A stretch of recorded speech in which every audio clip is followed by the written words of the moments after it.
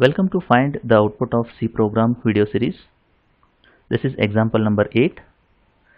In this program, first we have defined two variables a and b of uh, floating point uh, type. The value of a is uh, 5 and the value of uh, b is equivalent to 2 in this case.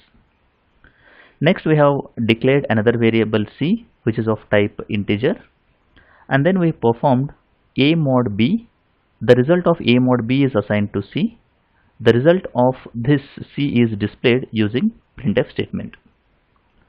So this looks very simple but uh, whenever you are preparing for interview or competitive examination you have to be very careful while answering such questions. So we'll try to solve this particular thing and then we will discuss why it is so important. First we have to evaluate a mod b.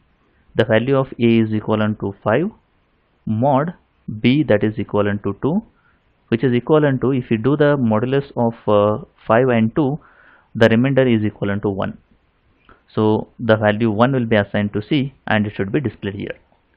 So the expected answer in this case is 1 but what we are getting the error message illegal use of floating point in function main so what why we are getting this particular uh, error?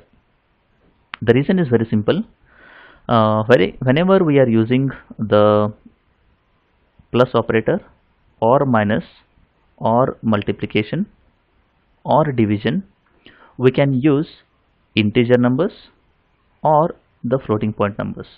No issues.